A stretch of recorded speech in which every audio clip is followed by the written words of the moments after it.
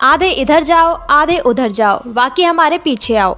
जी हाँ दोस्तों, आपने बिल्कुल सही पहचाना। हम बात कर रहे हैं बॉलीवुड इंडस्ट्री के कॉमेडियन एक्टर असरानी की, जिनका पूरा नाम गोवर्धन असरानी है, लेकिन इन्हें असरानी के नाम से जाना जाता है।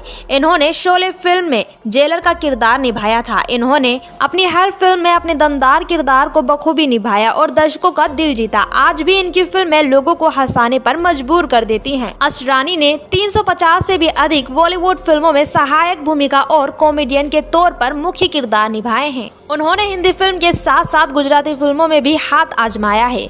इसीलिए आज ये किसी भी पहचान के मोहताज नहीं है। आपको बता दें कि असरानी ऑल इंडिया रेडियो में भी काम कर चुके हैं। दोस्तों, आप इनके बारे में तो सब जानते हैं, लेकिन क्या आप इनकी पत्नी के बारे में जानते हैं कि वह कौन है, क्या करती हैं और कैसी दिखती हैं? अगर आप भी जानना चाहते हैं, इन सभी सवालों का जवाब तो बने रहे हमारे साथ वीडियो में एंड तक। कॉमेडियन एक्टर अशरानी का जन्म 1 जनवरी 1940 को जयपुर में हुआ। उन्होंने सेंट जेवियर्स स्कूल से मैट्रिक की पढ़ाई कंप्लीट की और राजस्थान कॉलेज जयपुर से स्नातक की पढ़ाई पूरी की। वहीं अगर बात करें इनके अभिनय करियर के बारे में तो आपको बता दें कि उन्होंने अपने अभिनय करियर की शुरुआत साल उन्नीस सौ सड़सठ में आई फ़िल्म हरे कांच की चूड़ियों में अभिनेता विश्वजीत के दोस्त की भूमिका निभाते हुए की।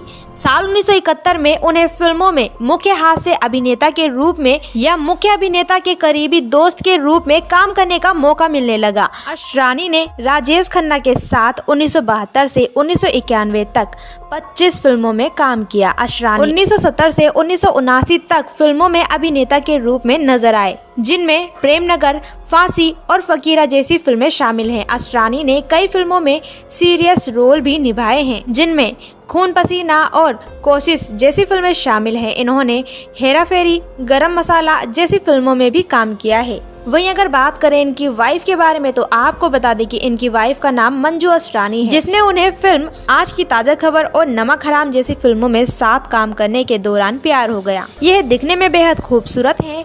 मंजू असरानी सत्तर और अस्सी के दशक की मशहूर एक्ट्रेस है। इन दोनों ने कई फ़िल्मों में साथ काम किया है, जिनमें हम नहीं सुधरेंगे। और नालायक जैसी फ़िल्में शामिल हैं। आज ये दोनों खुशहाल जीवन व्यतीत कर रहे हैं। तो दोस्तों, आपको कॉमेडियन असरानी की वाइफ के बारे में जानकर कैसा लगा? आप अपनी राय हमें कमेंट बॉक्स में कमेंट करके ज़रूर बताएँ। साथ ही, ऐसे ही और सवालों के जवाब पाने के लिए आप हमारे चैनल को सब्सक्राइब करना ना भूलें।